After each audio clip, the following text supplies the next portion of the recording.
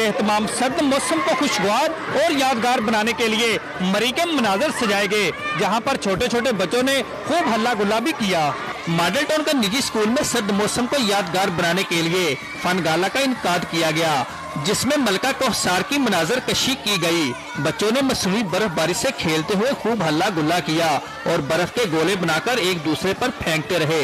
इस दौरान बच्चों ने मसनू बर्फ़ से मुजस्मे भी बनाए। आज हमें बहुत मज़ा आया।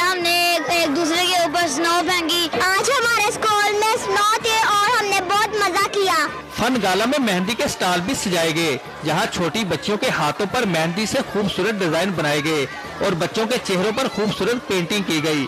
बच्चों और इस ने फन गाला को यादगार बनाने के लिए सेल्फियाँ भी ली। बच्चों को वेदर का एक नया हम उनको नज़ारा दिखा के कि अगर जो बच्चे मरी नहीं जा सकते तो यहाँ पे भी मरी बन सकता है।